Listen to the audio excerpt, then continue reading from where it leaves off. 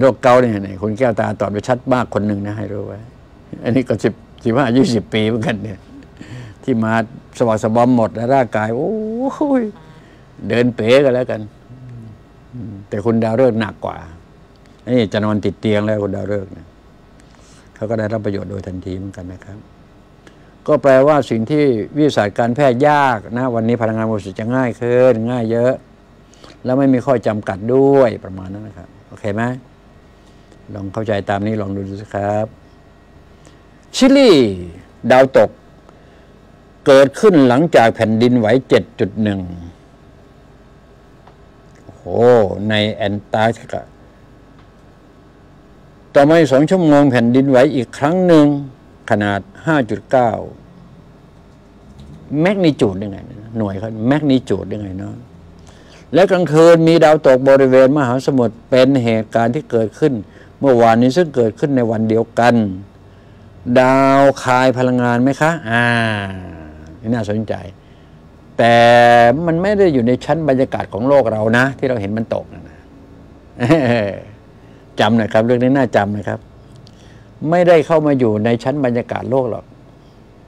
แต่เรามองไปมันผ่านชั้นบรรยากาศใช่ไหมดูเหมือนว่ามันอยู่ในชั้นบรรยากาศ โอเคไหมครับ มันอยู่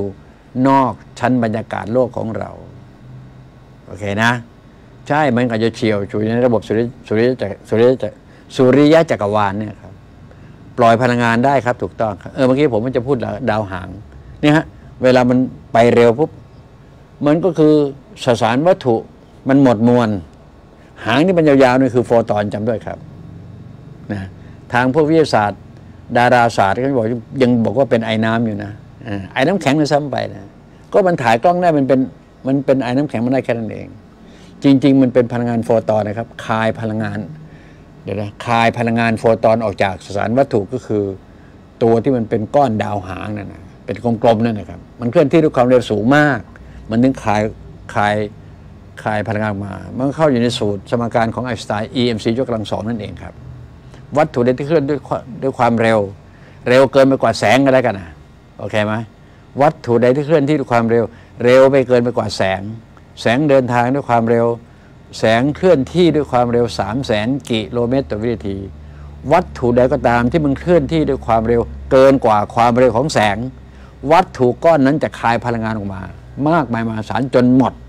เช่น ดาวหาง มันเคลื่อนที่ด้วยความเร็วเกินกว่าแสงแน่นอนนะครับ ตามสมการของไอน์สไตน์เนี่ยต้องเคลื่อนด้วยความเร็วถึง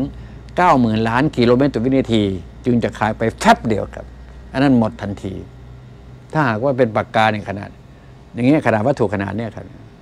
ขนาดเนี้ยนะถ้าเคลื่อนที่ด้วยความเร็วเท่ากับแสงเนี่ย มันจะเป็นพลังงานหมด พลังงานนี้มันมันจะมันจะระเบิดระเทิงเลยเหมือนกับพระพุทธเจ้า เสด็จดับขันธปรินิพพานในพลังงานออกจากพระวรากายเนี่ยมันจะออกพุ่งกระจายปื๊ดอย่างรุนแรงเลย นะฟ้าสถานเดือนสะเทือนหมดเลยครับ นั่นคือคลายพลังงาน เห็นไหมรูปแบบจะเป็นอย่างนั้นนะครับ ขอให้เข้าใจเนี่ยพวกดาวหางเห็นไหมครับ ดาวหางดาว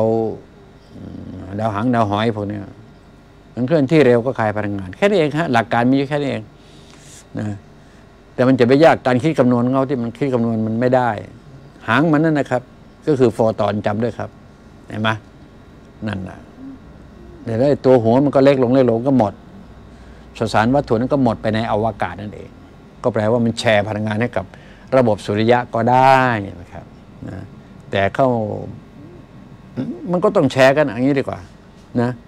เพราะว่าเวลามันเข้าสู่ระบบสุริยะจักรวาลของเราเนี่ย อย่างดวงอาทิตย์มันส่งพลังงานมาให้กับโลกใช่ไหมไม่พอ ไม่พอนะครับ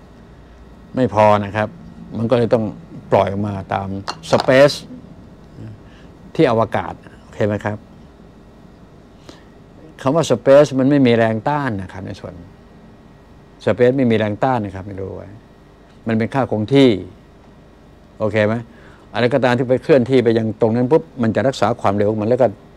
ไปตามแรงเฉยสเปซเพราะมันไม่มีแรงต้าน